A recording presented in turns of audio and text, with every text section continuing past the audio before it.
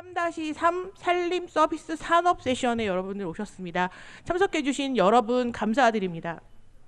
그러면 저희가 그 산림 서비스 산업에서는 세 개의 주제를 가지고 발표를 해주시고 그 다음에 그 각각의 세 개의 주제에 대한 지정 토론을 한 후에 플로어에 계신 분들 청중의 질문을 받는 순서로 지금 진행을 하고 있습니다. 어, 먼저 첫 번째 발표를 어, 듣도록 하겠습니다. 첫 번째 발표는 어, 산림 탄소 시장의 동향과 전망에 대해서 국립산림과학원의 이동호 박사님께서 발표해 주시겠고요. 발표 시간은 20분입니다. 그러면 이동호 박사님을 박수로 맞아 주시기 바랍니다. 예, 안녕하십니까. 오늘 산림탄소 시장의 동향과 전망에 대해서 발표할 국립산림과학원 산림정책연구과 이동호입니다. 2024년 산림 탄소 시장에 대한 전망 발표 준비를 하면서 귀한 시간 내주셔서 방문해 준 청중 여러분들을 위해서 어떤 정보와 메시지를 전달해 드릴까 고민을 많이 했습니다. 그래서 발표 전에 이 발표의 방향에 대해서 어, 먼저 말씀을 드리도록 하겠습니다. 아, 최근 3년 동안 어, 복잡한 국제 정서와 이제 경제 위기 그리고 기후 변화로 인한 어, 재난들이 굉장히 규모화되면서 어, 탄소 시장의 영향이 서로 다르게 그러니까 유형, 규모, 지역에 따라서 다르게 받는 것으로 나타났습니다. 그리고 그 산림 탄소 시장 같은 경우에도 또 자발적 탄소 시장에 대한 국제적 이벤트가 발생을 하면서 또 영향을 받, 받는 것으로 나타났는데요. 산림 탄소 시장 같은 경우에는 어, 소규모로 어, 자발적 탄소 시장을 중심으로 발전을 해 오다가 지금은 굉장히 중요한 역할을 담당하고 있는 상황입니다. 그래서 청중들께서는 이번 전망을 통해서 이제 국제 글로벌 동향이 어떻게 변해가고 있는지 그리고 이제 기존 탄소 시장과 다른 산림 탄소 시장과 탄소 크레딧이 어떻게 진화해 왔는지 그리고 지금 국내 탄소 시장이 어떤 현황인지를 에 대한 정보를 이번 발표를 통해서 어, 좀 도움을 받으셨으면 하는 마음으로 이번 발표를 준비했습니다. 네, 그래서 국내외 탄소 시장 동향을 살펴보고요. 그다음에 국내 제도의 현황과 그리고 그 분석 결과를 통해서 제안을 드리는 사항으로 발표를 준비를 했습니다. 살펴보시게 되면 뭐 최근 3년 동안 어, 코로나 팬데믹과 우크라이나 전쟁으로 인해서 글로벌 에너지 위기가 발생을 하면서 어, 여러 가지 경제 위기는 음, 발생을 하지만 역시나 그 재난들이 계속 발생을 했습니다. 국토의 3분의 1이 잠기는 대홍수가 발생을 하고 또 세계적인 뭐 폭염, 호간, 어, 혹한, 대가뭄이 발생을 하면서 실제로 피부에 와닿는 위기가 발생을 하고 어, 기업들도 그런 감축에 참여를 해야 된다라는 요구가 발생을 했고 그로 인해서 어, 배출권 시장들은 가격들은 경제 위기에도 불구하고 계속 증가를 했고 국가들은 어, 신재생 에너지 확대라든지 어, 뭐 ETS를 연계 뭐 EU ETS 같은 경우에는 스위스 시장과 연계를 한다든지 어, 새로운 그 산림 전용 방지 규정이라든지 탄소 국경 조정 제도 등 어, 비관세 장벽들이 도입이 되면서 실제로는 배출권 거래와 탄소세 운영과 관련되어 있는 이런 탄소와 관련되어 있는 시장들과 세, 세 제들이 확대되어가는 그런 트렌드가 나타나고 있는 걸로 나타났습니다. 즉 경제 위기에도 불구하고 글로벌 상황에서 시장과 세는 어, 탄소세 같은 도입들은 계속 확장되고 있다라는 그런 트렌드라고 보시면 될 것 같습니다. 어, 그런 그런 요구에 발맞춰서 어, 민간 부분을 중심으로 자발적 탄소 시장은 지속적으로 계속 확대되어 왔습니다. 근데 살펴보시게 되면 어, 갑자기 줄어들게 되죠. 그러니까 2023년에 어, 자발적 탄소 시장의 75%의 크레딧을 공급하는 베라에서 어, 굉장히 중요한 역할을 담당하고 있죠. 어, 가디언을 중심으로 가디언에서 어, VCS 레드 사업의 감축 흡수량이 과장되어 있다라는 연구 결과가 보도되면서 어, 어쨌든 부정적인 신뢰도에 대한 타격을 받게 되고 그 크레딧을 사용했던 글로벌 기업들 애플이라든지 디즈니 등 그다음에 유명 명품 업체들 즉 자기 글로벌 업체들이 탄소 감축에 기여하고 있다라고 홍보한 업체들이 그린워싱 이슈에 맞닥뜨리게 됩니다. 즉 우리가 기후 변화에 대응하고 있다라는 기업들이 어떤 브랜드에 대한 이미지 부분에서 타격을 입으면서 어, 흡수량 즉 글로벌 크레딧 공급량이 4억 7,500만 톤에서 2억 7,500만 톤으로 전년 대비 42% 감축하게 됩니다. 근데 여기서 흥미로운 사실은 어, 크레딧 양은 줄어들지만 시장 규모는 줄어들지 않았습니다. 보시게 되면 크레딧 가격이 어, 4.4달러에서 7.3달러로 높게 거래가 됩니다. 그러니까 공급량이 줄었지만 크레딧의 시장 가치는 높아지게 되는 거죠. 어떻게 이런 일이 발생을 하냐면 사실 여기 데이터를 보시게 되면 어, 산림 및 토지 이용하고 농업 쪽에서 2021년의 거래량과 어, 22년의 거래량을 보면 거의 반으로 줄지만 크레딧 가격은 5.7달러에서 10달러로 75%가 증가하게 됩니다. 즉 다른 에너지 산업이 아니라 산림 및 토지 이용 농업 사업에서 가격이 두 배로 상승을 하게 됩니다. 즉 산림 및 토지 등 자연 기반 솔루션 사업들, 즉 자연에서 흡수를 하는 사업들의 어. 탄소 크레딧 중 감축을 넘어서는 사- 사회 환경적 공편익 창출을 인정받는 크레딧은 프리미엄 가격이 형성돼서 거래된다는 것이죠. 여기서 중요한 포인트는 그 크레딧이 다른 크레딧이 아니라 똑같은 크레딧이 존재를 하는데 그 크레딧에 대한 프리미엄이 붙는다는 것입니다. 즉 구매자가 돈을 더 지불한다는 것이죠. 여기서 중요한 포인트는 원래 배출권 거래제라는 것은 기업들이 비용 효율적으로 감축을 하기 위한 것입니다. 즉 더 싼 가격에 크레딧을 구매해서 감축 비용을 줄이는 것이죠. 그러면 구매자 입장에서 배출권을 더 싸게 많이 사는 게 구매 비용을 높은 것인데 왜 이 시장은 더 많은 돈을 주고 크레딧을 구매하는 걸까요? 똑같은 크레딧이 자발적 탄소 시장에 존재하고 있는데요. 즉 산림과 토지에서 나온 크레딧이라도 공편익이 있는 크레딧과 없는 크레딧이 있는데 더 두 배 이상의 돈을 지- 지불한다는 것이죠. 이게 바로 기존에 있던 규제적 시장 배출권 거래제에 있는 크레딧과 산림과 토지 기반의 크레딧에서 발생하고 있는 차이점입니다. 즉 자발적 탄소 시장에서 신뢰성 문제로 규모가 줄어들었지만 가격 상승 효과로 가치가 끌어올라서 다시 그 보전 가치를 높여준 자발적 탄소 시장의 어, 크레딧이 새로운 가치 평가 기준, 가격 산정 기준이 달라진 것이죠.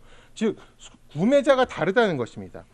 기존의 배출권 시장에서의 구매자들은 자기의 감축 목표를 달성하고 최대한 많은 양을 싸게 구입하는 게 구매 결정 요인이라면 자발적 탄소 시장은 내 가치를 충족시켜 줄 수 있는 구매를 하는 것이죠. 이게 왜 가능하냐? 즉 자발적 탄소 시장은 다양한 구매자가 참여를 하고 다양한 목적으로 크레딧을 구매합니다. 그리고 그 구매 구매 규모도 어, 배출권 거래에서는 자기의 할당이 되어 있지만 내가 몇 톤을 사건 자기의 목적에 달성을 하는 거죠. 그러니까 구매량도 다양하게 존재하고 구매 가격도 다양하게 존재합니다. 실제로 요게 나오는 가격들은 어, 리포트된 가격들입니다. 장외 거래를 통해서 진행되기 때문에 엄청 다양한 폭의 가격대가 존재합니다. 그래서 일반 거래소를 통한 가격보다 그런 데이터를 수집해서 평균을 낸 가격이라고 보시면 됩니다. 그래서 기존의 산림탄소 가격 거래와 자발적 탄소 시장의 산림탄소 가- 거래가 다르다라는 것을 좀 명확히 이해를 하셨으면 좋겠습니다. 이게 국제 탄소 시장을 통해서 지금 다르게 발전해 오고 50% 가까이 차지하고 있는 산림탄소 시장이 과거와 다르게 지금 중요하게 진화해 온 특징이라고 보시면 될 것 같습니다. 네, 그럼 신뢰성에 타격받은 부분들은 어떻게 되느냐? 지금 보시겠지만 글로벌 탄소 시장에서 자발적 탄소 시장이 굉장히 주목을 받고 많이 성장을 했습니다. 그래서 신뢰성이 타격을 받은 부분들은 국제 사회에서 자발적 탄소 시장의 중요성을 인지하면서 어, 보시다시피 이런 어, TSVCM, VCMI, SBTI와 같은 탄소 크레딧의 규격, 그 다음에 신뢰성 투명성을 높이기 위한 노력들을 어, 국제 사회와 국가들이 참여를 해서 어, 동시에 노력을 하고 있습니다. 수요자 입장, 즉 기업들이 어떤 크레딧을 구매해야 되는지에 대한 가이드라인을 제시하고 또 품질 관리를 어떻게 할 것인지에 대한 어떤 원칙을 제시하고 공통된 입장들을 제시하고 제시하기 위한 노력들을 하고 있고 이런 기관들이 모여서 또 통합적인 노력을 하기 위한 노력들을 하고 있습니다. 그리고 이런 노력들이 어, 제대로 진행된다고 한, 했을 때 지금 어, 국제사회에서 나오는 전망들은 2050년까지는 13기가톤에 7기가톤에서 13기가톤, 뭐 McKinsey나 캠, 어, McKinsey and Company 같은 곳에서는 50억 달러에서 최대 1,800억 달러까지 성장할 것이라는 수치를 제시하고 있지만 중요한 포인트는 지속적으로 성장할 것이라는 전망입니다. 그리고 이런 수요가 계속 있을 것이라는 보고라는 거죠.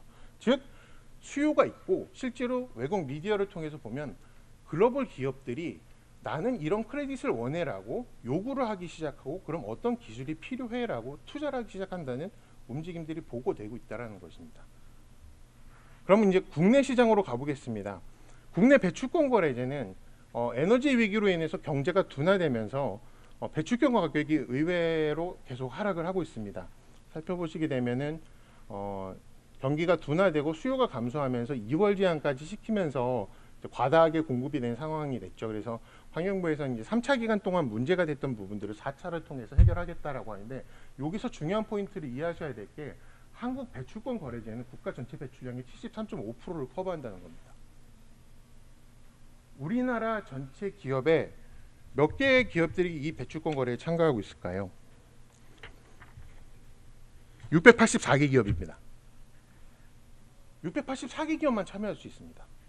그럼 대한민국 기업들의 684개 기업을 제외한 기업들은 감축을 하지 않아도 될까요? 그럼 그 기업들은 어디 가서 감축을 해야 할까요?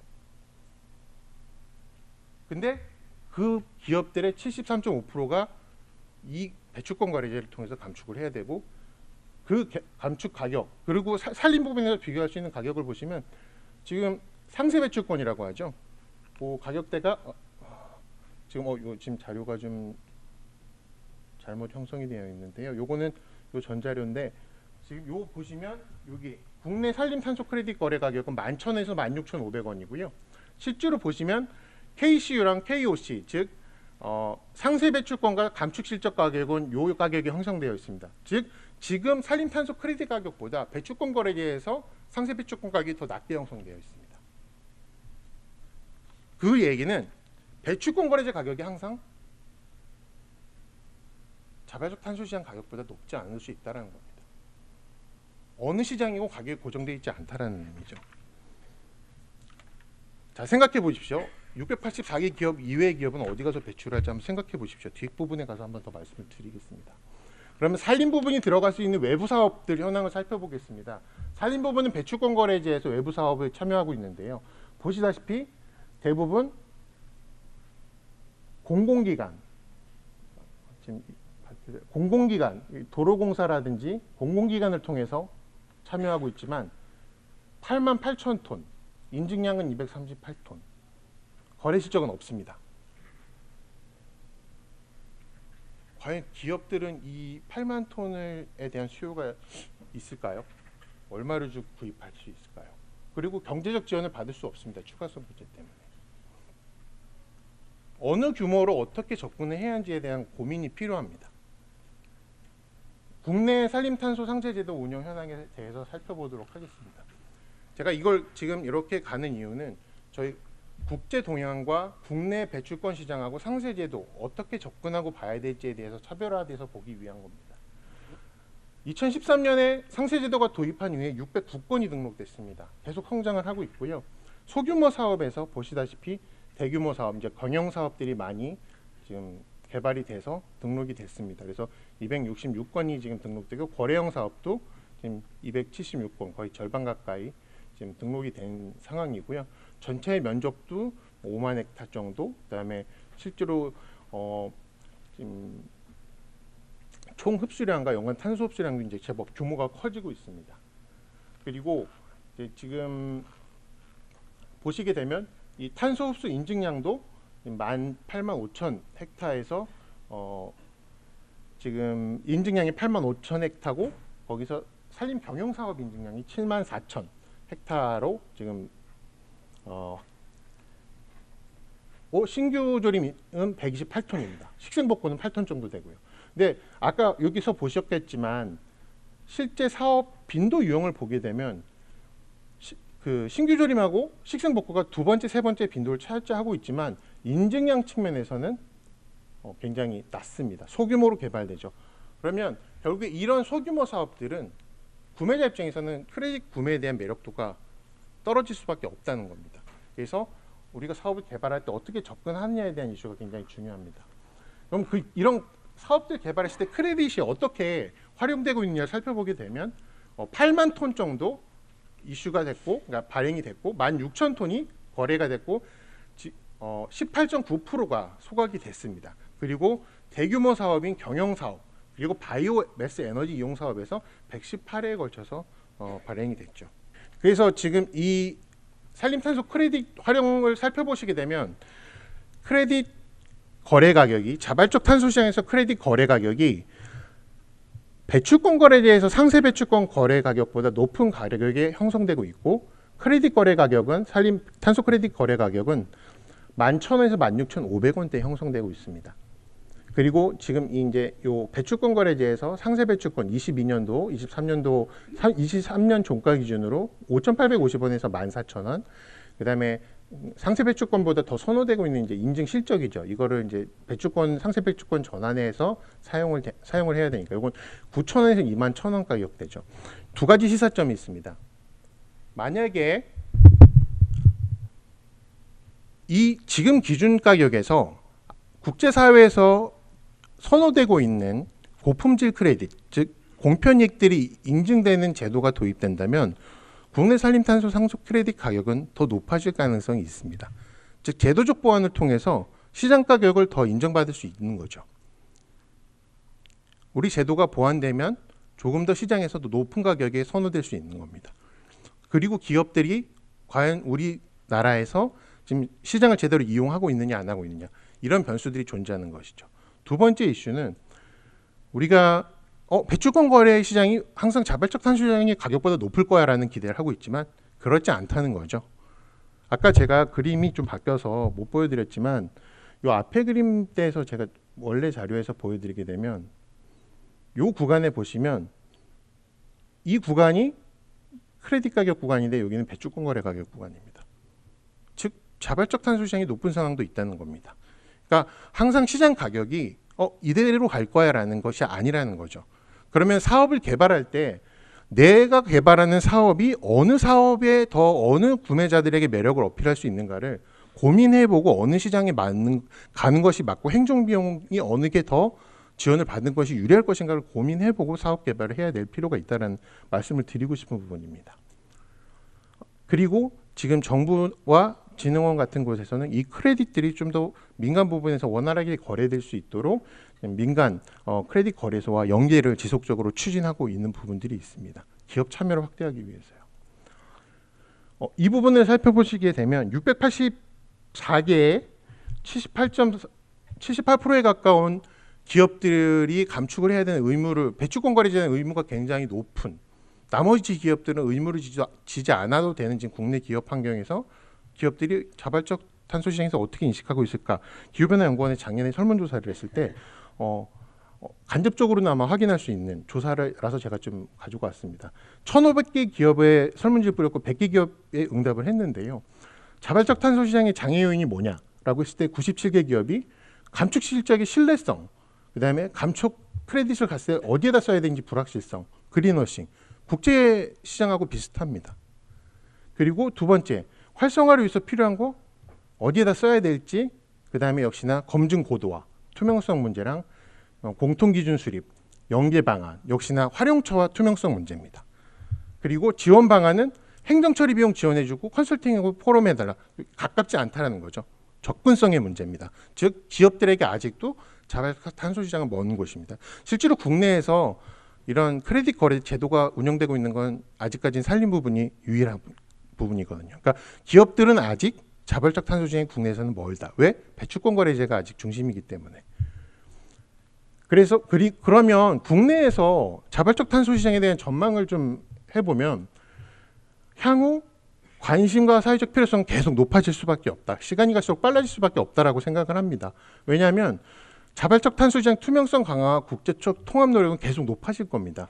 캅 28에서 아까 말씀드렸던 VCMI나 글로벌 이니셔티브들이 결국에 모여서 수요와 공급, 그 다음에 통합적인 framework 같이 만들기로 또 합의를 했습니다.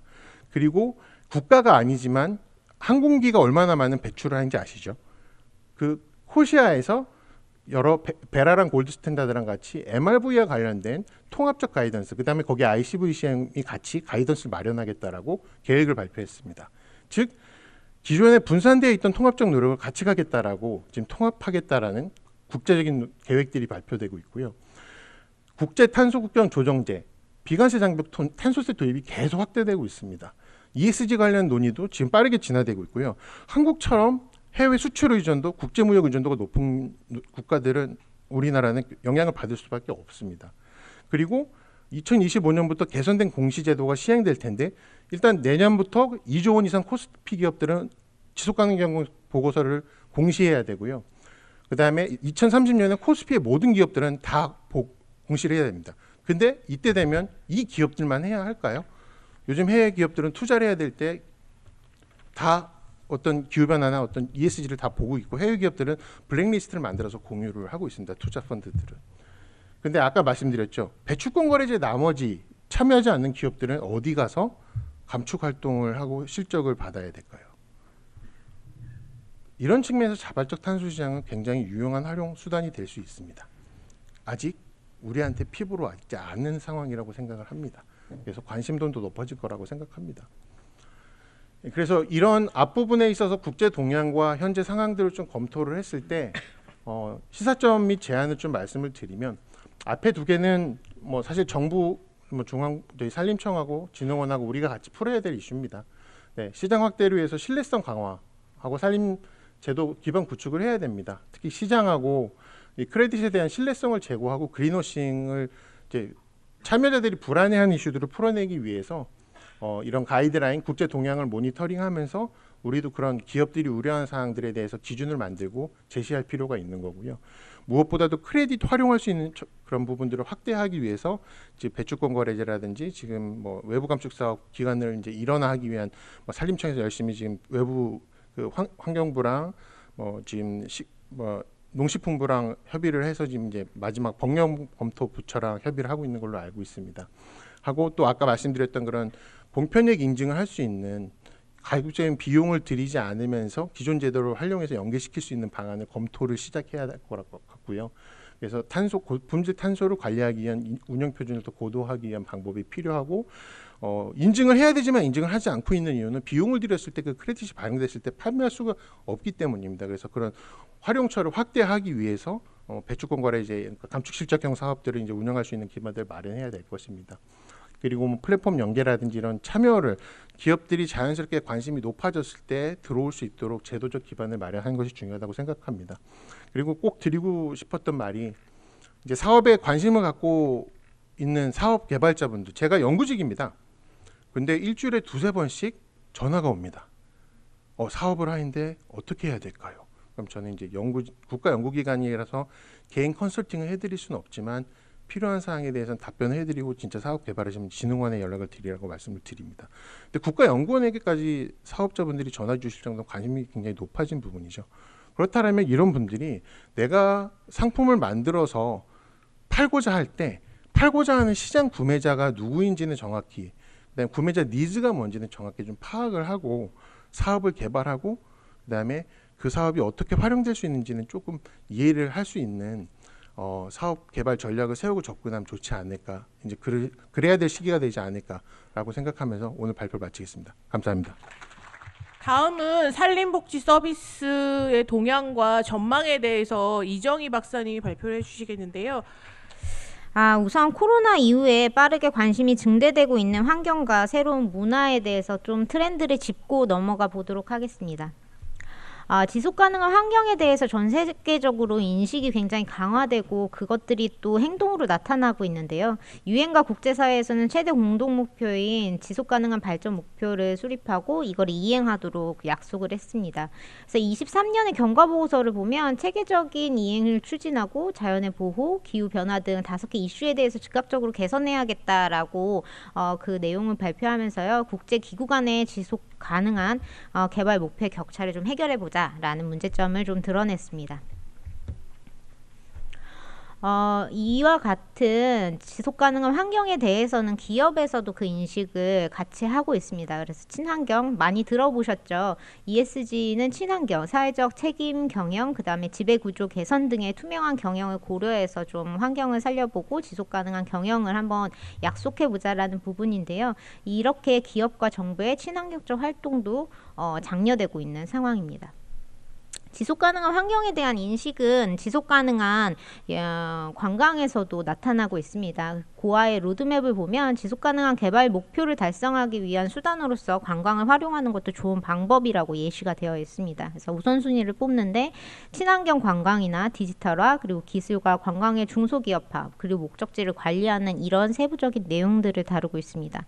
그리고 요즘에는 MZ 세대 다 들어보셨죠? MZ코라는 말이 생겼습니다. 그래서 MZ와 에코가 결합된 말인데요. 이와 같이 어, MZ 세대들은 본인들이 가지고 있는 가치를 행동으로 옮기는 그런 특성들을 조금 보이고 있습니다. 그래서 작은 캠페인부터 직접 대책을 요구하는 집회나 청원 등에 나서는 등 좀 활발한 행동들을 하고 있기 때문에 우리가 MZ 세대에 집중해야 되는 이유일 수 있습니다. 어, 그럼 2024년에 어떤 트렌드들이 나올까 음, 관련해서 많은 책자들이 나왔죠. 그래서 그 관련된 책자들을 좀 보고 어, 저희 분야와 연계가 있을 것 같은 것을 세 가지 뽑아봤습니다. 첫 번째 트렌드는 시간의 가성비 분초 사회입니다. 어, 분초 사회라고 들어보면 아실 것 같아요. 초, 초 단위로 시간을 좀 쪼개 쓰자라는 의미인데요. 아무래도 저희는 코로나를 겪으면서 유연근무와 재택근무를 통해 개인에 따라 시간의 사용이 다를 수 있다라는 것을 인지했습니다. 아, 그거에 따라서 시간의 희소 자원으로서 인식하고 시간의 가성비를 극도로 높이는 트렌드가 지금 나왔는데요. 그거를 시성비 또는 분초 사회라고 부릅니다. 그래서 유연근무제나 재택근무가 여가 생활이나 퇴근 후의 활동에 관심을 두게끔 하는 이런 내용들이 있고요. 어, 그러면서 새로운 용어들이 생겼습니다. 짬 PT, 뭐 틈새 PT, 뭐 이런 내용들이 생겼는데 어, 이런 부분은 고객의 시간을 낭비하지 않도록 관리하는 것도 중요한 패러다임의 일부이다 라는 것들을 어, 예시하는 바입니다. 두 번째 트렌드는 크로노 어버니즘입니다. 크로노 어버니즘은 도시민의 시간을 도시민의 시간 사용을 좀 줄여주자라는 의미이고요. 이게 이제 도시계획의 새로운 패러다임으로 등장했습니다. 내일의 도시 파리 15분 도시는 들어보셨을 거예요. 파리에서는 어, 도보 생활권을 중심으로 도시를 계획하겠다는 개념이 들어섰고요. 프랑스 파리 외에도 도쿄, 그 다음에 호주의 멜버른, 그리고 국내에서는 부산이나 서울에서도 이런 N분 도시의 개념들을 정책에 활용하고 있습니다. 그리고 세 번째 트렌드는 사람은 누구나 돌봄이 필요하다입니다. 아, 이와 관련해서 Radical Help라는 개념을 들고 나오신 분이 있으십니다. 그래서 현재까지는 사회적 돌봄은 신체적, 정신적, 경제적 약자 대상에 어찌 보면 사회적 지원 서비스라고 한다면 앞으로는 다양한 제도적 예방 그리고 보고 그리고 어, 예방과 보호고요. 지원 서비스의 돌봄 제공자에 대한 서비스를 포괄하는 사회 서비스로 발전할 것이다. 라는 부분입니다. 그래서 지금까지는 거래가 가능한 시장화지만 이 시장화 역시도 어떻게 보면 빈부 격차에 따라서 어떤 사람은 많이 받게 되고 적게 받게 되는 이런 부분들을 모두 국가가 보편적인 공공 돌봄을 구현하는 사회화를 추진해야 된다라는 부분들로 변화되고 있습니다. 이제부터는 사회림 복지 서비스의 현황과 수요에 대해서 보도록 하겠습니다. 여기 계신 분들은 모두 산림복지 서비스의 개념 정도는 다 알고 계실 겁니다. 어, 산림복지 서비스는 산림문화 휴양과 산림교육 그리고 치유 등 산림의 기반으로 제공하고 있는 서비스를 말합니다. 산림복지 서비스는 아래와 같은 범위로 나눌 수 있는데요. 그러니까 물리적 시설인 복지지구나 복지시설로 나눌 수 있고 그 시설을 기반으로 산림복 지 복지 서비스를 전달하는 전문업과 전문가가 있습니다. 그리고 어, 산림복지 서비스에서 소외된 분들, 그러니까 소외자들이 어, 수급권자들인 분들로 이렇게 나누어서 볼 수 있습니다. 근데 산림복지 서비스는 소외자들만 받는 것이 아니라 전체 인구들이 다 받는데 그 서비스에서 결여되는 분들이 없도록 하기 위해서 산림복지 소외자를 어, 대상으로 넣고 있습니다. 한 가지 소개드릴 게 있습니다. 산림복지 시설에 숙경형 체험님이 들어왔습니다. 2023년 6월에 법이 시행이 됐고요. 이 부분에 있어서 임업과 같이 연계할 수 있는 부분들이 좀 더 커진 것 같습니다. 산림복 시설의 숙경인 체험님은 임업을 임업 경영을 체험할 수 있도록 조성한 산림과 그 토지를 포함하고 있다라고 되어 있고요. 이 부분은 아무래도 저희 음, 그러니까 국내에 사립자 아, 그러니까 사유림을 가지고 계신 임업 산주분들이 서비스를 제공하면서 소득 사업을 할 수 있는 기반이 될 수 있을 거라고 생각하고 있습니다. 어, 1차 년도 산림복지 진흥 계획이 끝났습니다. 지금 2차 년도 아까 제 2차 산림복지 진흥 계획을 시작하고 있는데요. 그러면 1차 산림복지 진흥 계획이 있던 5년들은 어떻게 진행이 되었을까 한번 저희가 어, word cloud 분석을 해봤습니다. 그래서 산림과 복지 클- word cloud 분석을 했을 때 절대적인 그 노출 빈도는 어, 증가 두 배 정도 증가했습니다. 그리고 문서에서 보면 환경, 자연, 치유, 시설, 문화, 체험, 사람들 이렇게 해서 되게 내용이 세분화되고 다양한 콘텐츠로 변화해 옴을 알 수 있었습니다. 처음에는 지역이나 아니면 사업에 대해서만 중심이 되었다면 다양한 콘텐츠로 발전해 왔다는 것을 볼 수 있었고 그 중심에 산림복지진흥원이 있었다라는 생각이 조금 들었습니다. 아, 본 전망을 하면서 아, 산림복지 서비스 현황에 활용한 자료들을 단 한 번도 소개시켜 드린 적이 없더라고요. 그래서 이 부분을 좀 소개시켜 드리고자 합니다. 어, 산림복지 어, 산림복지 전망은 산림복지 서비스 행정 통계와 그다음에 국가 승인 통계인 산림휴양 복지 활동 조사로 두 가지 어, 데이터를 가지고서 활용하고 있습니다. 행정 통계는 실제적으로 정책 수혜를 받고 있는 사람들을 측정한다고 하면 전 국민에 대한 부분들은 좀 놓치고 있기 때문에 어, 국가 승인 통계인 전 국민 대상의 통계 조사 자료를 활용해서 잠재 고객까지 포괄하고 있다라고 보시면 될 것 같습니다. 어, 산림복지 서비스의 공급 현황입니다. 공급 현황은 아무래도 시설과 전문 업, 전문가로 나누어서 볼 수 있을 것 같습니다. 먼저 시설로 보면요.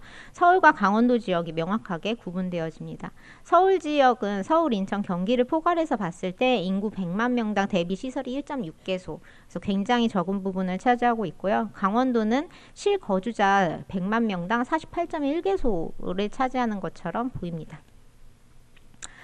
아, 근데 전문가나 전문업은 반대입니다. 아무래도 서울, 인천, 경기 지역이 인구가 많다 보니까 인구 100만 명당 16.8개소가 설치가 되어 있고요. 아, 그리고 아, 인구 100만 명당 72.7개소가 설치되어 있습니다. 어, 이 부분은 한번 음, 다시 확인해 봐야 될 것 같습니다. 크기를 봐서는 이쪽이 훨씬 큰데 어, 죄송합니다. 이 부분 한 번 더 확인해 보도록 하겠습니다.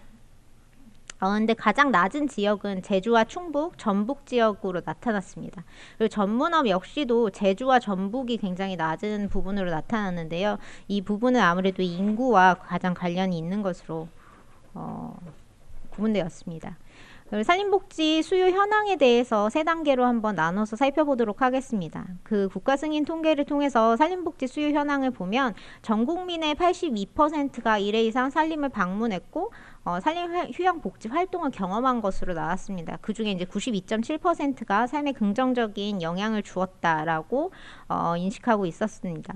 어, 이 숫자가 어떻게 보면 잘 안 와닿을 수도 있는데요. 21년보다 22년에 6.2%가 상승해서 어, 더 많이 경험했다라고 말을 했고요. 여기 보시면 코로나 시즌에 조금 줄어들었다 다시 회복한 거를 볼 수 있습니다.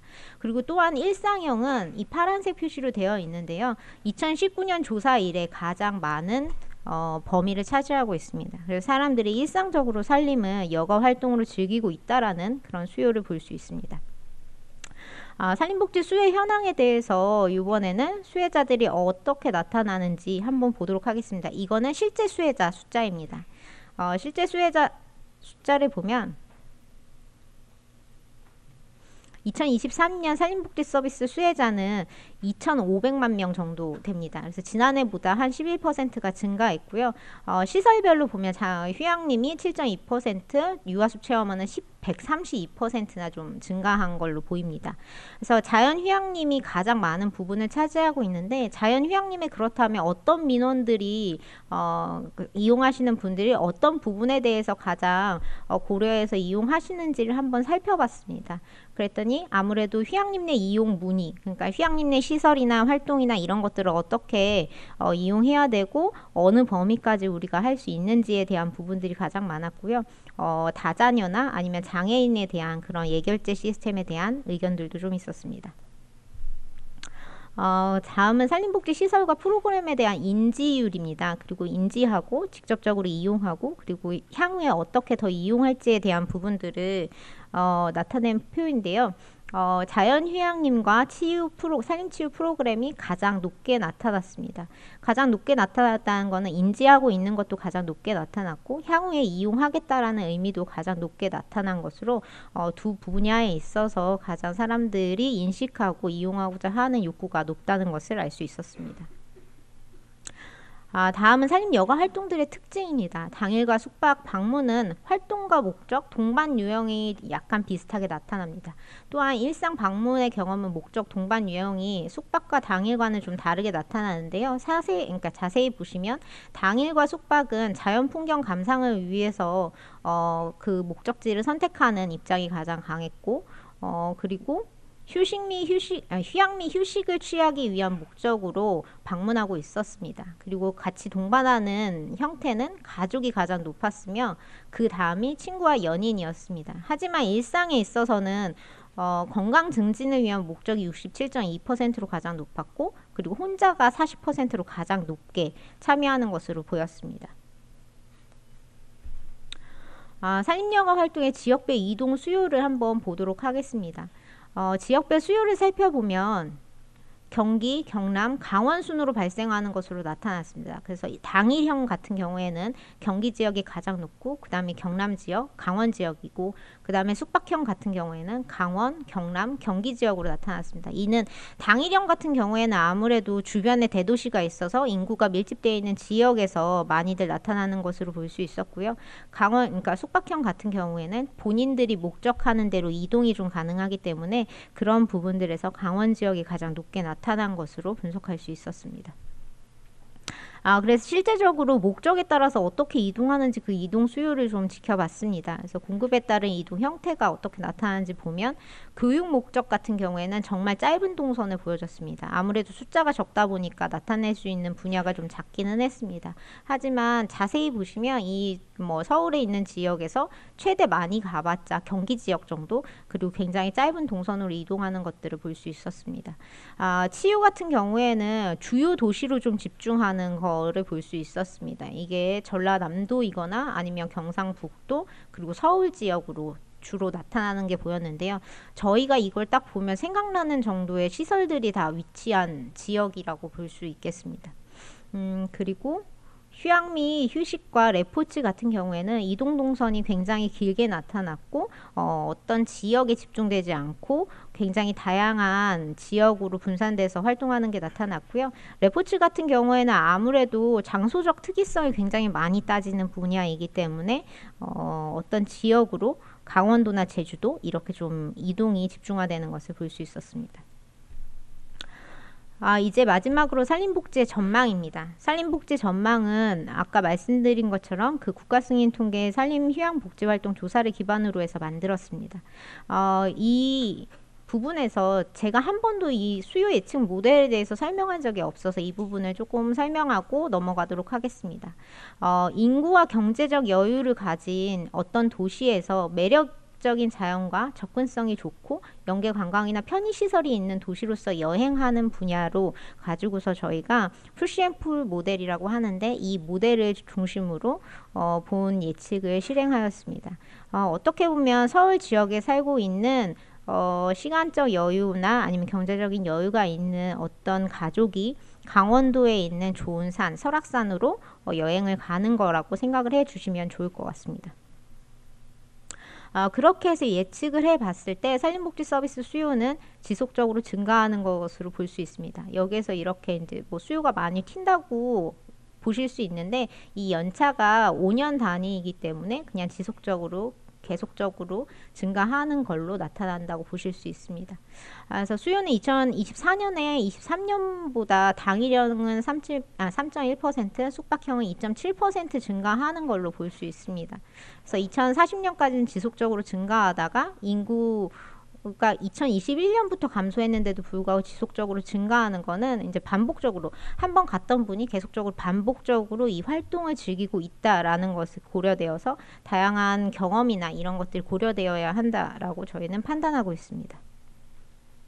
어, 산림복지 수요의 이 이동을 보겠습니다. 2024년에 어디로 이동하는지를 보니까 어, 당일형 같은 경우에는 충남 지역 그리고 경북 지역, 경남 지역으로 많은 이동이 있는 것으로 보았습니다. 그리고 숙박형 같은 경우에는 강원 지역 그리고 경북 지역 그리고 경기 지역으로 많이 이동하는 것으로 보았습니다. 그래서 2024년에 예측한 결과를 가지고서 어느 지역에 수요가 몰릴 것인지 본 것이니까요. 이 부분을 좀 참고해 주시면 좋을 것 같습니다. 앞서 트렌드를 보고 현황과 전망치를 본 다음에 그렇다면 2024년에는 어떻게 어떤 부분들을 좀 고려해서 전문업들은 어, 프로그램들을 개발하고 연구나 정책들은 어디로 추진해야 하는가라는 부분들을 조금 짚어봤습니다. 그래서 한 개인의 반복적 경험이 유지되고 증진을 위한 경험이 다양성되고 있는 지금 시점에 가치의 중요성이 개인 투자 비용보다 높은 충족도를 만족시키기 위해서는 수요에 맞는 경험의 다양화 그리고 지속 가능한 경험, 경험자 시간의 절약이 꼭 필요할 것이라고 생각되었습니다. 그래서 첫 번째로는 초나노형 서비스를 제공해야 되고 두 번째는 경험의 가치를 부여해야 되며 세 번째는 일과 경험을 콜라보레이션 해야 된다라고 생각하고 있습니다. 자세하게 살펴보도록 하겠습니다. 초나노형 서비스는 도대체 무엇이냐?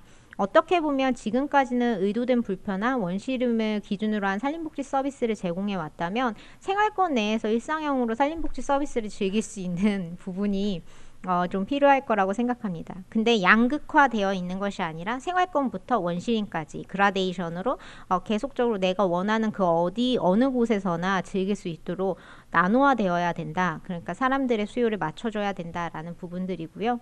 음, 그 다음에 두 번째는 경험의 가치를 부여해야 합니다. 너 네.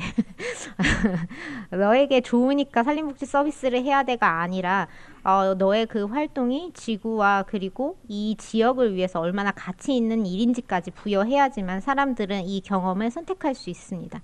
그래서 지속 가능한 미래를 위한 지속 가능한 산림복지 서비스를 만들어야 합니다. 그래서 복지진흥원에는 ESG 사업을 좀 더 발굴해 달라고 부탁드리고 싶고요.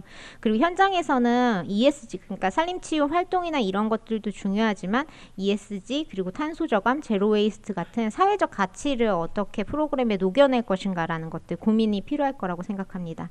그리고 세 번째 마지막입니다. 일과 경험의 콜라보레이션. 워케이션을 넘어 출장지에서도 즐길 수 있는 틈새 산림복지 서비스를 좀 만들어야겠다라는 부분입니다.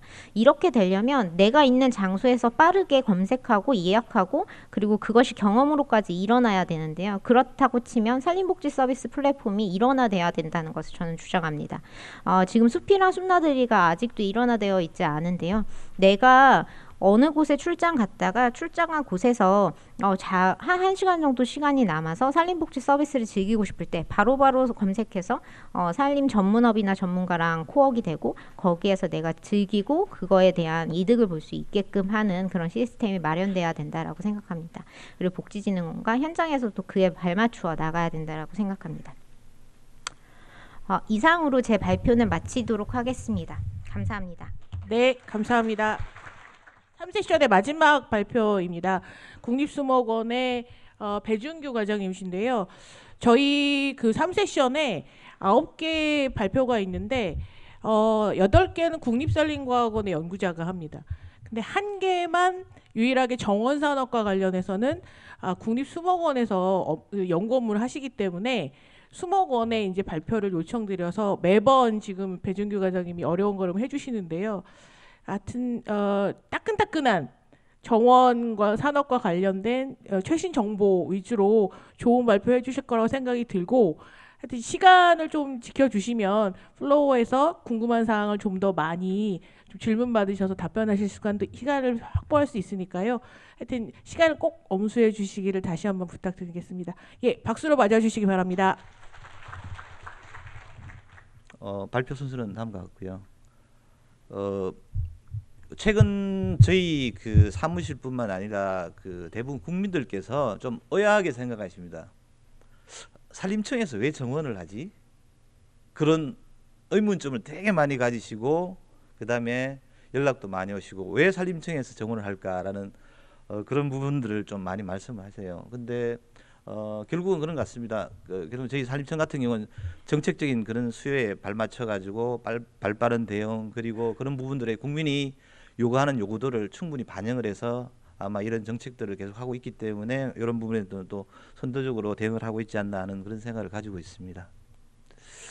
어, 잠깐 그 최근에 그 정원과 관련된 여러 가지 그 산업이라든지 이건 일부분입니다. 일부분인데 어, 저희들이 조, 조금 조사를 해보니까 실제로 그 이커머스 상입니다. 이건 전체 그 통계는 아니고요. 이커머스 상에서 보시면 예를 들어서 SSG닷컴이라든지 이런 어, 여러 가지 그 포탈 어, 이커머스 상에서 살펴보면 home gardening에 대한 전체 매출들이 실제로 뭐냐 90몇 프로씩 계속 증가를 하고 있습니다. 이게 단순히 저희들이 이야기하는 정원에 대한 꽃을 산다든지 그런 부분이 아니라 실제로 정원과 관련된 모든 산업에서 매출이 엄청나게 좀 많이 늘어나고 있는 그런 상황이고요. 실제로 그 애누리닷컴이라는 사이트에서 매출을 살펴보면 특히 텃밭 세트 같은 경우는 뭐 저도 뭐 어, 도시 텃밭 이런 데좀 하고 있지만 한 491%가 갑자기 증가를 계속하고 있거든요. 근데 이런 추세가 계속 갈까라는 의문을 가지고 있습니다. 근데 실제로 보면 우리나라뿐만 아니라 세계인 추세로 봐더라도 계속 증가하고 있다라는 것들은 좀 알 수가 있겠습니다. 그리고 혹시 그 최근 들어서 아마 그 제가 뭐 자세한 브랜드명은 어, 말씀드리지는 못하지만 뭐 어어 업체에서 보면 전자 관련해서 이야기하는 실제로 뭐냐면 인공식물 재배기 관련해서 그 시장에서 보면 갑자기 보시면 19년 100억에서 600억 이 보면 2003년에는 5천억 원 이라는 그런 매출이 사실은 잡혔다 그래요. 물론 물론 모르겠어요. 이게 정확한 수치는 모르겠지만 어쨌든 간에 그 통계에 어, 잡혀 있는 자료인데 실제로 보면 그 정도의 매출인데 과연 그러면 이것들이 어떻게 증가할 것인가에 대해서는 어, 저희들이 어, 아직도 연구를 하는 입장에서는 아, 얼마까지 올라갈까에 대한 어, 예측은 어, 사실은 또 예단하기는 힘든 그런 상황이 되겠습니다. 어, 먼저 그 조금 전에 말씀드렸지만 저희 사전 여권 변화를 조금 말씀을 드리겠습니다. 실제로 이제 어, 산림청 같은 경우는 어쨌든 정원 산업 활성화를 하기 위해 가지고 여러 가지 정책들을 좀 많이 마련하고 있습니다. 첫 번째는 저희들이 어쨌든 그 수목원 옛날에는 수목원 법이었습니다. 근데 법 그 명칭을 변경을 해서 수목원 정원법이라는 어, 법을 어, 어쨌든간 변경을 했고요. 그 다음에 여기에 대해서는 정원 산업이라든지 정원 진흥에 관한 어, 여러 가지 근거를 마련을 했습니다. 어, 실제로 이걸 통해 가지고 저희들이 어, 살펴보면 정원 산업이라든지 혹은 인프라 구축에 대한 그런 부분에 대해서 여러 가지 또 제도라든지 그런 것을 확대를 하고 있습니다. 어, 그리고 어, 실제로 1차 정원 진흥 계획을 이미 수립해서 어, 시행을 했고요. 그 다음에 어, 2025년까지 2차가 지금 진행이 되고 있는 그런 상황이 되겠습니다. 어, 근데 어, 최근 들어서 저희들이 계속 느끼는 게 뭐냐면 자 그러면 이것들이 그 결국은 우리나라 같은 경우는 대부분이 탑다운 방식으로 계속 진행이 되고 있습니다. 근데 실제로 해외를 살펴보면 탑다운보다는 민간에서 이 정원과 관련된 그런 부분들이 계속 증가를 하고 있기 때문에 이런 부분들은 저희 그 아마 후반기에 제가 말씀을 드리겠지만 조금 고민을 해야 될 사항이 아닌가 그런 생각을 가지고 있습니다. 그- 그렇지만 어쨌든 이런 정책 수요를 가지고 저희들이 그 뭐 여러 가지 일- 어, 사항들 좀 파악을 해 보니까요. 어, 자 그러면 우리가 그냥 산업을 확산시키기 위해서 양적인 그런 증가만 할 것이냐라는 그런 부분도 있고요. 그 다음에 결국은 뭐냐면 정책을 위한 정책을 만들지 않았냐. 실제로 일반 국민들이 와닿을 수 있는 그런 정책을 했느냐라는 그런 반성도 좀 하고 있습니다. 그래서 이러한 부분들에 대해서는 아마 그 내년 이제 25년 끝나고 3차 계획을 세울 때는 그런 부분에 대해서는 좀 그 고민을 해야 되지 않나 하는 그런 생각을 좀 가지고 있습니다. 아 그리고 어 최근 들어서 그 일반 국민들이 정원에 대한 인식이라든지 관점들이 되게 많이 변하고 있습니다. 실제로 옛날에 저희 뭐 아버님 같은 경우는 뭐 저희 부모님 세대 같은 자 가든이 뭐냐 그러면 대부분 그렇게 하세요. 저기 그 가면 무슨 불고기 집 있지 않느냐 그게 가든이라고 다 생각. 말씀 진짜 그렇게 하셔요. 근데 어, 요즘 그 계시는 분들의 생각이 저희들 어, 보다 훨씬 더 뭐냐면 다르게 또 생각하고 있고 그다음에 정원에 대해서 가치를 좀 부여를 많이 하고 있습니다. 그래서 정원에서 일어날 수 있는 어, 다양한 뭐 가드닝이 아니라 실제로 정원이 가지는 다면적 가치, 그러니까 인문 가치, 환경 가치, 사회 가치, 문화 가치, 심지어는 요즘 뭐 기업에서는 저희들이 뭐 어, 최근 들어서 이제 연구를 진행하려고 하고 있지만 ESG 가치를 좀 만들어서 해보자라는 어, 그런 부분들도 있기 때문에 관점이 좀 많이 변하고 있습니다. 그래서 그런 부분들은 어, 과거하고는 좀 다르게 변하고 있다라는 그 말씀을 드리고 있고요. 그 다음에 어, 아까 잠깐 말씀드렸지만 실제로 이제 이런 정책들이 어떻게 하면 국민의 어, 손에 와닿게 할 수 있을까라는 어, 그런 고민들을 좀 어, 해야 되기 때문에 어, 또 이러한 부분들이 결국은 뭐냐면 저희들이 단순히 정원 물화라는 그런 것을 벗어나서 결국은 이게 어, 산업과 연결이 되어야, 되어야, 된- 되어야 된다는 그런 생각을 좀 많이 가지고 있습니다. 그래서 특히 뭐 최근 들어서 저희 한 2년 정도 지금 그 연구를 추진하고 있는데요. 어, 정원 산업에 대해서 이것들을 이제 어쨌든 그 국가 통계로서 좀 그 확립을 해볼까라는 그런 생각도 가지고 있고요. 그 다음에 어, 두 번째는 이러한 것들을 통해 가지고 어, 승인 통계를 어, 국가 승인 통계를 받아야 받아야 되는데 이런 부분은 저희 또 산림 통계가 있기 때문에 그런 사이에 좀 그 여러 가지 또 고민도 있고요. 그래서 그런 부분들에 대해서는 좀 고민을 좀 하고 있는 그런 상황이 되겠습니다. 그리고 어, 이것을 바탕으로 실제로 지자체에서는 단순히 이제 정원 문화라는 그런 틀을 벗어나서 산업과 연계된 그런 것들을 어떻게 할까라는 그런 고민들을 좀 많이 하고 계시는 그런 상황이 되겠습니다. 실예로 어, 지금 도 단위 그 지자체 같은 특히 그 경기도 같은 경우는 아예 산림 녹지과를 어, 명칭을 과 명칭 정원 산업과로 바꿔버렸어요. 근데 물론 과거에 어, 이 산림 업무라든지 녹지 업무에 대해서 진행했던 그런 어, 부서에서는 되게 반발이 많았었어요. 근데 시- 근데 그 옛날에 그 국이 뭐냐면 농정국 아니면 축산국에 있었는데 그 국 자체를 아예 뭐냐면 에너지 산업국 밑으로 이 정원 산업에 대한 그런 것들을 확실하게 하기 위해서 또 옮긴 그런 사례도 있겠습니다. 물론 뭐 다른 지자체도 마찬가지로 계속 그 명칭에 대한 그런 변경은 일어나고 있습니다. 어, 잠깐 뭐 저희들 산림청에서는 뭐 매년 뭐 여러 가지 사업이라든지 그다음 정책들을 좀 추진을 하고 있습니다.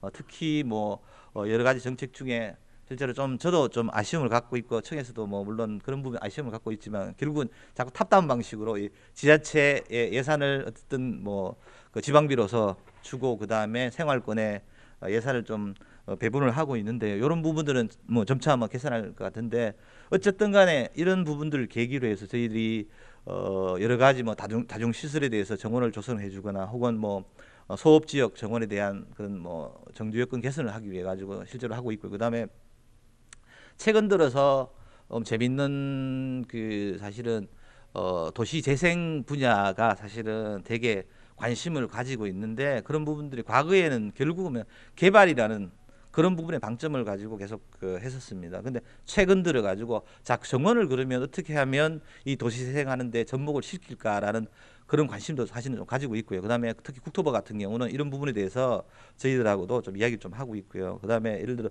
토지공사 같은 경우도 뭐냐면 어, 실제로 이 사례를 가지고 어떻게 하면 어, 도시를 좀 바꿔볼까라는 어, 그런 또 정책도 가지고 있습니다.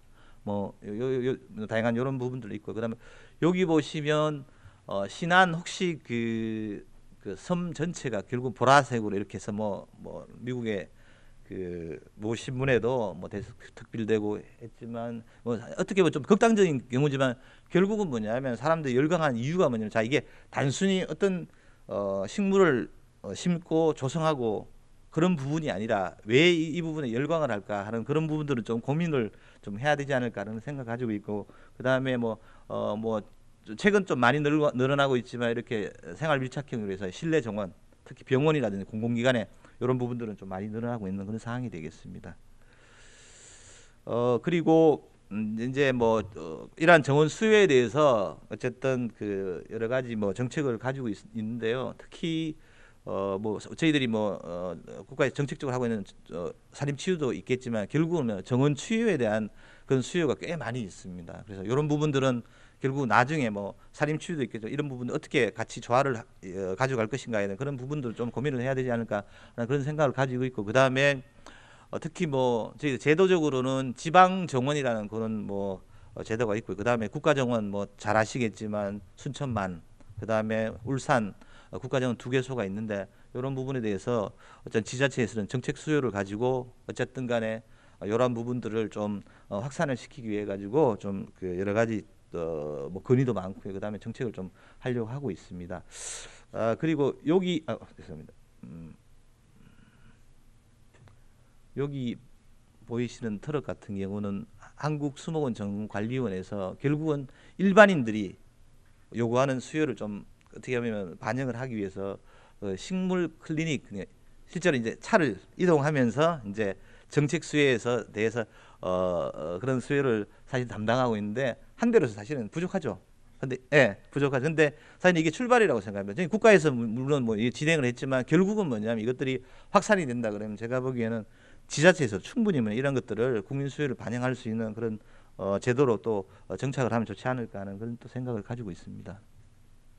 그리고 어, 아까 전에 잠깐 말씀드린 정원 치유 같은 경우는 결국은 뭐냐면 어, 산림치유도 마찬가지겠지만 정원으로 어떻게 하면 이 정서적으로 치유를 할 것인가 그런 부분뿐만 아니라 실제로 저희 나라 같은 경우는 그 나이가 들거나 아니면 몸이 아프시면 대부분 병원이 아니면 요양원으로 다 보내십니다. 근데 이것들이 뭐냐면 결국은 요양원에 가시면 어 모르겠습니다. 제가 생각하기는 너무 힘들게 돌아가시게 하는 그런 제도가 아닌가 그런 생각을 가지고 있습니다. 실제 영국 같은 경우 널싱 같은 경우는 몸을 움직이게 합니다.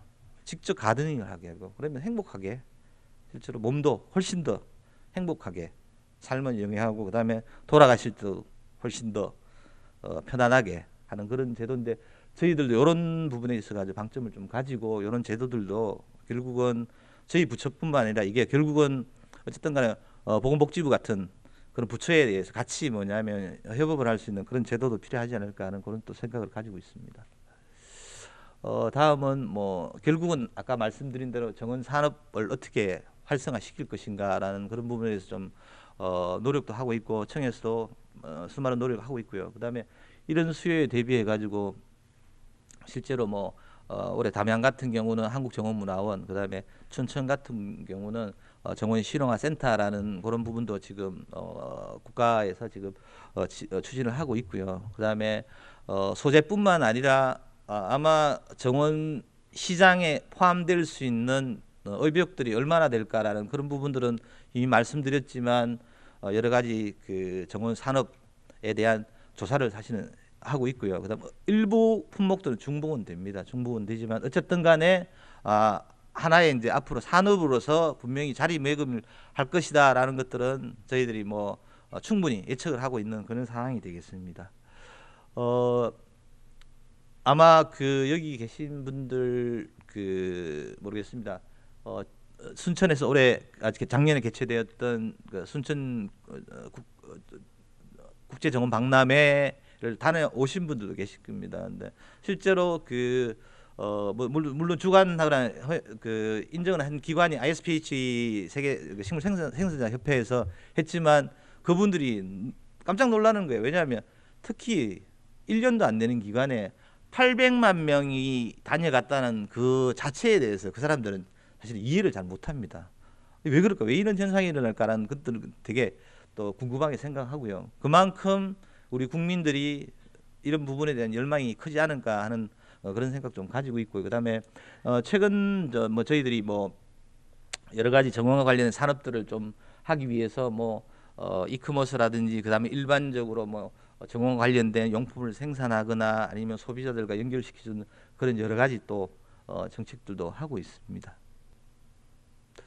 어, 다음으로 그 어, 뭐 앞으로 아마 그 산림청에서 여러 가지 정원 정책에 대해서 뭐 여러 가지 고민을 좀 많이 하고 계십니다. 그럼 어떻게 하면 좀 확산을 시키고 할까라는 어, 그런 부분을 하기 위해서 한 일곱 가지 정도를 이야기하고 있는데요. 어, 첫 번째는 일단은 뭐 어, 다른 부처도 다 마찬가지겠지만 사실은 저희 그 올해 그 정원 관련 예산도 꽤 많이 줄었습니다. 요- 이런 부분은 저희는 어쨌든 간에 뭐 어, 정부 뭐 기조에 가지고 예산에 대한 감축이라는 그런 부분이 결국은 뭐냐면 예산에 대한 그런 부분들은 지속적으로 늘지 않을까라는 것, 예, 예, 뭐 예측은 하고 있습니다. 그래서 그런 부분은 크게 뭐, 어, 뭐 걱정은 하지 않, 않고 있고요. 그다음에 두 번째로 어, 실은 이게 정원 도시라는 사실은 되게 생소하실 겁니다. 이 용어가. 근데 아마 앞으로 저희 정원 도시에 대한 그 그런 부분들이 좀 약간 좀 이슈거리가 될 수 있는 그런 또 하나의 또 정책이 되지 않을까 하는 생각을 하고 있고 어요 전에 뭐냐면 이정희 박사님께 잠깐 말씀하신 사실은 그 어쨌든 간에 그 파리의 뭐 15분 도시 여러 가지 뭐 호주도 마찬가지고요. 그래서 저희들은 정원으로서 어떻게 도시를 물리적인 도시를 만들자는 건 아닙니다. 이런 도시가 형성되어 있고 거기에 다양한 가치를 부여를 하고 정원으로서 어떻게 하면 어, 하나의 그 도시를 끌고 갈까라는 그런 정책을 가지고 있고요. 이런 내용들은 어쨌든 저희들 계속 연구를 해서 뭐 publishing 할 예정이고요. 뭐 자세하게 내용들은 좀 말씀드리기는 좀 어, 시간이 좀 부족하고요. 실제로 이제 아마 그 시간이 되시면 저 해남 같은 경우는 올해 벌써 시범 사업으로 어 정원 도시 관련해서 또 진행을 하고 있는 그런 상황이 되겠습니다.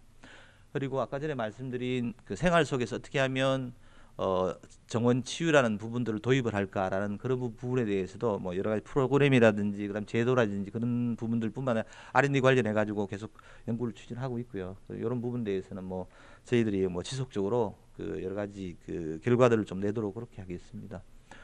어 그리고 모르겠습니다. 이게 정책적으로 그 어느 만큼 수요를 가지고 국가정을 만들 시- 만들 것인가에 대한 그런 부분은 사실은 어, 청차로서 좀 고민을 가지고 있습니다. 그래서 이런 부분들은 뭐 어, 여러 가지 의견은 있지만 지역별로 하나씩 이렇게 국가정을 만듭시다라는 그런 의견도 있고요. 그다음에 어, 수요를 원하면 다 해주십시다라는 그런 어, 부분들도 있지만 어쨌든 간에 이런 부분에 대해서는 그 청에서 아마 여러 가지 어, 정책들을 좀 구상을 하지 않을까 하는 그런 생각을 가지고 있습니다. 아 그리고 뭐 한국 정원 특히 올해 저희들 카타르 그 국제 정원 막내 저희들이 한 달에 거의 정원을 만들어 버렸습니다. 딴 국가에서 한 6개월 만든 건데 현지에서 너무나 깜짝 놀라 가지고 우리 정원 세계화에 대해서 관심을 좀 많이 가지고 있고요. 그다음에 실제로 어 그때 VIP 또 오셔 가지고 좀 어, 여러 가지 뭐 말씀도 하시고 그렇게 가셨습니다. 어 그다음에 조금 전에 말씀드린 국가정원을 어떻게 조성하고 만들 것인가, 그다음에 지정을 할 것인가 그런 제도도 지금 시행을 하려고 하고 있습니다. 어 뭐요 정원 도시 개인전 같은 경우는 아까 전에 잠깐 말씀드렸지만 실제로 물리적인 도시를 만드는 것이 아니라 도시의 어떤 것들을 반영할 것인가, 정원의 가치를 어떻게 어, 반영을 할 것인가에 대한 그런 부분에 대해서 좀 고민을 좀 많이 하고 있습니다. 어 아까 말씀 정원 산업 통계도 마찬가지고요. 그 다음에 앞으로는 아마 정원 전문가 관련해서 교육을 어떻게 할 것인가라는 그런 것들을 좀 추진을 하도록 하겠습니다. 어 그리고 잠깐 뭐 이제 해외 종양 잠깐 말씀드리겠습니다. 실제로 정원 선진국이라고 할수 있는 영국, 그다음 미국, 독일 같은 경우는 법적으로 이렇게 그 어떤 부분에 대해서 하지는 않습니다. 대부분 뭐냐 민간 차원에서 하고 있고요. 그런 부분에서 실제로 그 어, 오대공 뭐 건강이라든지 그 다음에 뭐 기후 변화 대응, 그 다음에 실제로 어, 여러 가지 그 국민들과 같이 호흡을 할 수 있는 그런 제도들을 좀 만, 많이 만든다라는 그런 말씀을 좀 드릴 수가 있겠습니다. 아, 그다음 뭐 어, 정원 산업 규모를 잠깐 말씀을 드리겠습니다. 그 사실은 그 코로나 이후부터지만 어쨌든 간에 세계 정원 시장들은 매년 약 한 4% 정도 성장은 계속 하고 있습니다. 그다음 이런 부분들은 추세는 계속 갈 거다라는 것들을 갖고 있고요. 그다음에 어 아이러니하게도 전 세계 뭐냐면 정원 시장의 40%를 40% 이상을 미국이 다 차지하고 있습니다. 그래서 이런 부분에 대해서는 저희들이 어쨌든 어 조금 뭐 여러 가지 정책이라든지 그런 것들을 좀 살펴봐야 되지 않을까 하는 그런 생각을 좀 가지고 있습니다. 그다음 두 번째는 뭐 아시아 태평양 지역 같은 경우는 아니면 중국이겠죠. 근데 우리나라 같은 경우 거의 한 4위권에 좀 어, 있고요. 어, 유럽 지역 같은 경우는 독일이 어쨌든 간에 가장 우위를 점하고 있다 말씀을 드리겠습니다. 어, 뭐 아까 잠깐 말씀드렸지만 전체 시장 점유율을 미국이 40% 이상을 가지고 있습니다. 그런데 아, 이러한 부분을 보면 실제로 이제 미국 시장이 어떻게 되느냐 따라서 결국은 정원 산업 세계 시장의 규모라든지 그런 것들은 계속 어, 좌지우지 된다라는 것들을 좀 말씀드리겠습니다. 그 어, 이상 제가 그뭐 바쁘게 그냥 말씀을 드리는데 제가 마지막으로 좀 말씀드릴 게 지금 이제 다 끝났다고 아직 24초 남았습니다. 예, 예, 그래서 아마 그 어, 서두에 제가 마- 잠깐 말씀드렸지만 결국은 아, 이게 그 다른 산업과는 약간 조금 틀리지만 정원 산업이라든 정원 문화 같은 경우는 탑다운 방식이 아니라 어떻게 하면 민간에서 활성화를 시킬 수 있느냐라는 것들이 결국은 뭐냐면 어, 선진국을 계속 봤을 때 관건이라는 것들을 좀 말씀드리고 싶고요. 그다음에 앞으로 정책을 만들 때도 저희들도 마찬가지고 연구도 마찬가지입니다. 어떻게 하면 국민들을 위해서 그다음에 국민들이 체감을 할 수 있는 그런 정책들을 만들어 갈까 하는 것들이 제가 보기에는 앞으로 우리 대한민국의 정원 산업이라든지 정원 문화라든지 그런 것들을 어, 성공할 수 있냐 그런 어, 하나의 그 바로미터가 되지 않을까 하는 어, 생각을 가지고 있습니다. 예, 이상으로 발표를 마치도록 하겠습니다. 감사합니다. 예, 감사합니다.